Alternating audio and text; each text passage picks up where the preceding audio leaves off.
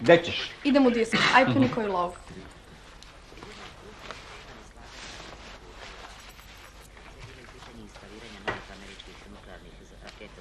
I nemoj da mi dolaziš kasno. Dođeš to ranije oko četiri sata.